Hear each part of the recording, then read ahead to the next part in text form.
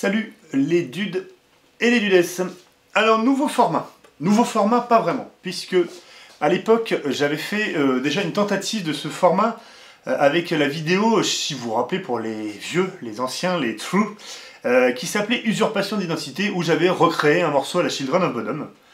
Et du coup j'ai eu envie de revenir à ça. Pourquoi? Eh bien je vais vous le dire. Et puis je vais vous le dire mon cher Pujadas. L'imitation de Sarkozy est plus claquée. Euh, pourquoi? Bah, Tout simplement parce que le petit ras de YouTube, en ce moment, euh, je dirais partager. Si je fais une vidéo où je une Gibson, je marque Gibson dans le titre, c'est 3-4 000 vues. Une vidéo qui me prend 10 minutes à faire. Je sors ma guitare, je me mets devant vous, je fais de Rollin, de Rollin, 4 000 vues. Pour sortir encore une Gibson. Alors bon, j'aime bien, hein, c'est pas le, le, problème. Si je fais Fender Telecaster, c'est pareil. Stratocaster, c'est peut-être un peu moins. Alors là, si je sors Musicman, machin, là, c'est plus une vue. Bon. Après, il y a les covers. Alors, les, les covers à but pédagogique. Donc là, ben, c'est baisé. Puisque de toute manière, euh, euh, YouTube va bloquer les vidéos. Donc, euh, on pourra pas, je pourrais pas vous, faire bosser ça. Et puis après, il y a les covers pour faire le cover. Où là, j'ai grandi, j'ai mûri, je suis un autre homme. Non, c'est pas ça. C'est qu'au bout d'un moment, je, je trouve ça dommage d'être le 75 millième mec à massacrer un titre euh, bien d'un autre. Au pire des cas, autant le faire en live, je trouve, c'est plus intéressant. Euh, au moins c'est vrai, il y a un échange, et puis c'est un live derrière euh, une caméra d'accord, mais ça reste un live quand même. Ou alors venir carrément les voir sur scène pour d'excellents groupes de cover, comme le mien, les Panthères B, hein, petite pub, voilà. Bref. Et du coup, je me suis dit, ça peut être intéressant de s'amuser avec ça, de permettre l'analyse un peu de style d'un album, et puis à la fin, de composer une chanson dans le style de l'album. Donc pour démarrer, bah, pour démarrer, j'ai pris euh, celui-là, hein, voilà. Flying in the Dream de Joe Satriani. Pourquoi? Bah, Parce que déjà je fais ce que je veux. Et puis euh, non, sérieusement, c'est parce que comme j'ai bouffé pas mal de Satriani euh, dans mon jeune temps, eh ben bon, il m'en reste un peu plus. c'est plus facile pour moi de démarrer avec ça et de un petit peu singer ou tenter de mimer le maître. Donc voilà, donc je suis parti sur cette idée-là. Et derrière ça, le but, ça va être donc d'avancer ensemble dans la construction, de prendre les éléments qui nous intéressent pour avancer ensemble dans le, la composition euh, d'une chanson, un peu comme si je composais la chanson cachée ou la chanson bonus de l'album Flying in the Blue Dream. sans prétention, vous imaginez bien, je suis pas Joe Satriani, c'est vraiment pour se marrer, pour se faire plaisir et puis pour essayer autre chose et, euh, voilà quoi, moi ça m'intéresse de faire ça, donc euh, si ça vous plaît, ben, c'est cool, si ça vous plaît pas, ben, vous allez être déçu parce que je vais essayer de le faire souvent, si j'y arrive. Donc, Déjà, le son. Alors le son, on va passer là, ici sur le... Voilà. Je me suis servi du bon vieux fractal, voilà. Euh, j'ai foutu euh, une imitation du SLO 88, euh, donc Soldano, les préamps. Voilà, parce qu'il faut vraiment un...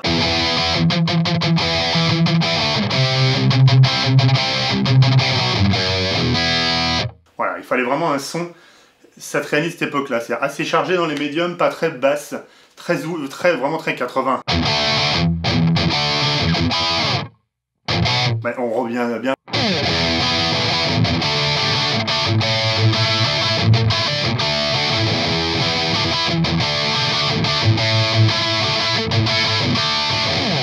Voilà, c'est vraiment le son de One Big Rush qui a été ma grosse influence pour cette compo. La preuve, c'est que j'ai piqué euh, une suite d'accords euh, pour euh, la, compo.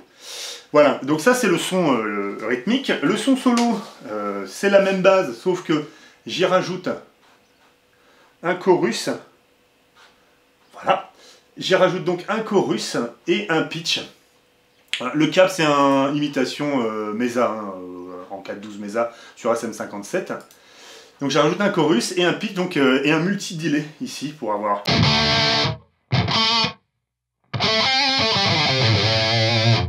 Et donc du et la wah-wah très important dans le son de Satriani. Voilà,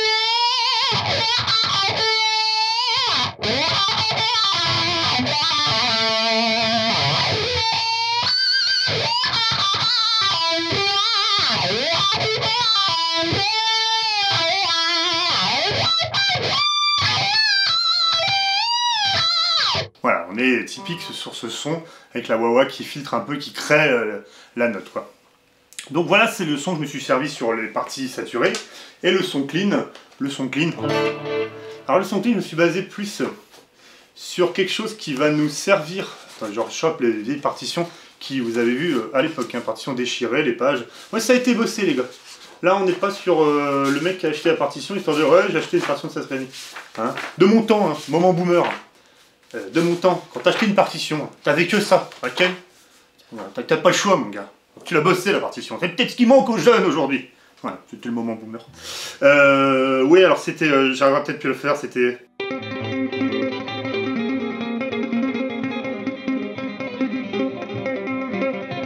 voilà quoi, vous avez reconnu, c'était le truc de Forgotten.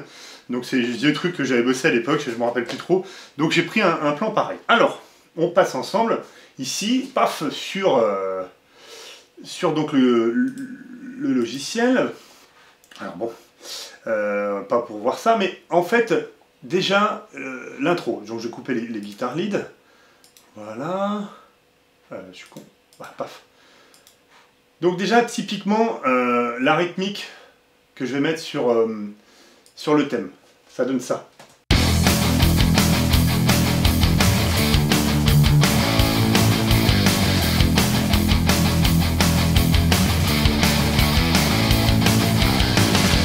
Donc on est sur quelque chose d'assez simple, très droit. J'aime beaucoup ces chansons à Satriani où tout va droit, on a l'impression ça... Moi j'ai vraiment l'impression d'une chanson qu'on écouterait à fond la nuit sur l'autoroute. C'est ce que ça me donne comme impression.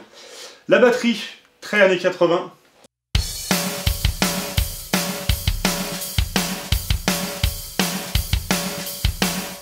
Ça n'a jamais été euh, un endroit avec des grandes, grandes... Sauf l'album où il y a eu Manu Katché, là, Joe Satriani. Sinon, ça reste toujours assez simple, les batteries sur Satriani.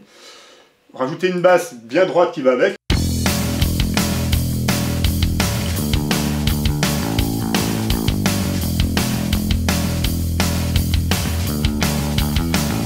Et les guitares euh, rythmiques, et elles du coup nous font un petit, euh, je remets, toute seule.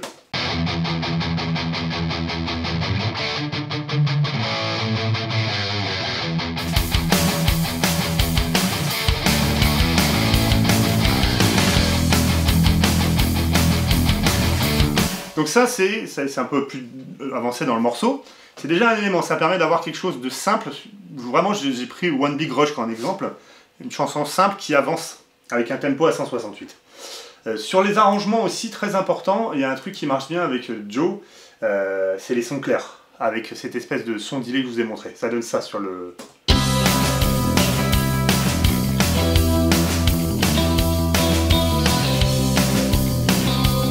un peu les sons qu'il peut y avoir sur euh, sur comment ça s'appelle sur euh, euh, oui sur Flying Budulim ce qu'il y a derrière.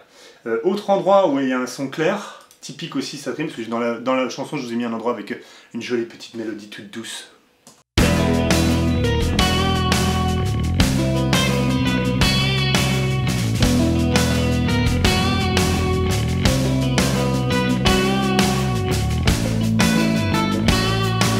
Voilà, c'est parce que dans Satriani, il y a beaucoup de moments où... Euh, vous voyez, les accords doivent être... Euh, toujours des accords qui vont chercher des, ambiances chez Satriani.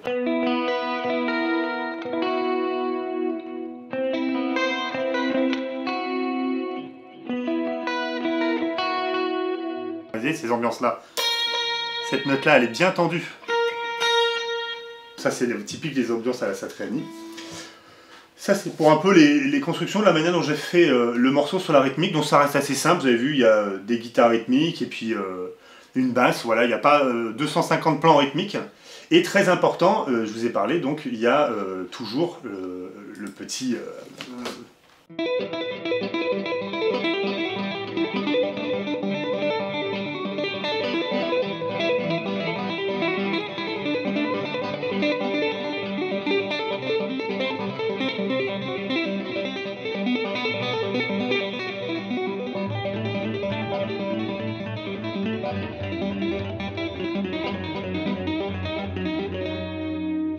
Voilà, donc il y a un petit pont comme ça que je vous ai mis dans le truc qui est vraiment, du, à mon sens, le pur jus euh, Satch là-dessus. Alors, dans l'utilisation des jeux de solo, et après je vous lâche pour la chanson, dans l'utilisation des jeux de solo sur euh, Joe Satriani, ce qui est très important, euh, alors là j'en ai foutu un paquet dedans, hein. j'ai un petit peu... Joe Satriani est beaucoup plus aéré, quoi, peut-être plus... il est plus sage que moi, beaucoup plus mûr. Et meilleur compositeur certainement. Mais voilà. Donc dans les jeux de Satriani typiques, ce qu'il faut retenir, outre bah, déjà les thèmes assez simples, mais par contre, il y a toujours chez Joe Satriani l'utilisation de plans assez rapides avec des...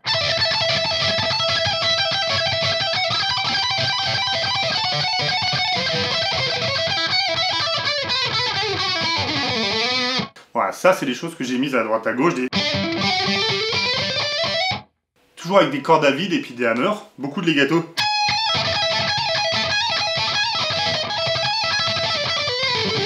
C'est des, voilà, du truc à la Satriani, en dehors de ces plans où...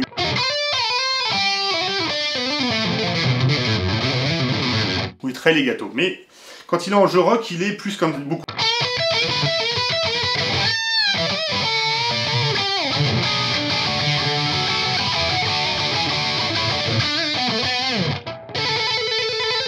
Ça aussi, les, tappings comme ça, la Satriani avec la tranche, les harmoniques, avec la barre, tout ça, ça fait partie du panel du jeu de Satriani. On peut aussi euh, voir aussi le tapping, souvent avec Satriani, bah, qui peut faire dans Mystical Groove Stick Potatoes, où il fait...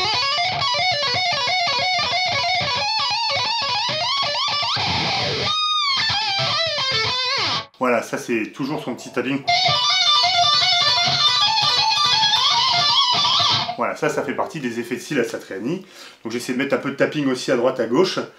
Et puis, euh, voilà, sur le mixage, il est très années 80, donc j'ai foutu une lexicon, euh, une lexicon euh, de l'époque pour avoir vraiment une espèce de belle reverb, du delay pour remplir un petit peu tout ça. Et ça nous donne la compo que je vais vous proposer.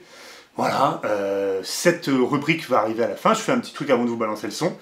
Euh, ça va s'affiner, je vous dis pour l'instant je ne sais pas exactement comment construire ça, c'est un premier jet. Si vous aimez liker, partager, subscribe et commenter.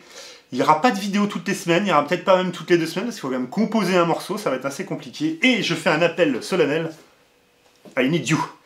Si tu es chanteur, si tu es, euh, je sais pas moi, claviériste, si tu es autre chose que guitariste, en gros, guitariste après on pourra faire des, eh bien, contacte-moi. Surtout si tu es blonde à forte poitrine, non, c'est pas ça.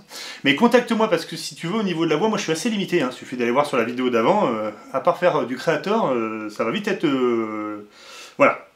Donc, en attendant de grossir ça et d'attirer du monde, parce que je vous connais, vous les musiciens. Hein, si ça pas 30 000 vues, vous n'allez pas venir. Eh ben, je vais continuer un petit peu disséquer mes guitaristes, essayer de trouver des choses que je peux faire, mais je vais très vite être limité par ma voix. Donc si je veux faire du Maiden, si je veux faire du, Dream Theater, des trucs de heavy, des trucs de rock, des trucs de country, ou qu'on veut imiter quelqu'un, ben, il va me falloir des chanteurs et des chanteuses. Donc si jamais vous connaissez dans votre entourage quelqu'un que ça pourrait euh, mettre en avant son groupe, hein, parce que j'ai aussi l'idée de, faire venir des potes de Saint-Nazaire pour faire, j'espère, un spécial Cannibal Corse avec euh, les gars d'Atrocia, enfin voilà. Donc euh, le but aussi c'est de partager ça à plusieurs. Donc si toi, ou tu connais toi, quelqu'un qui chante, tu t'es toujours dit mais putain mais il, il chante comme, euh, je sais pas, comme Brian Johnson. Eh ben, envoie-le moi. On fera une spéciale à CDC, on va se fendre la gueule. Voilà, c'est aussi ça, l'idée de la chaîne. C'est parti pour la compo. Et voilà, à plus.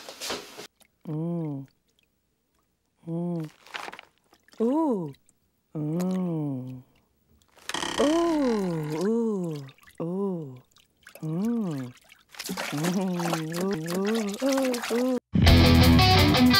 and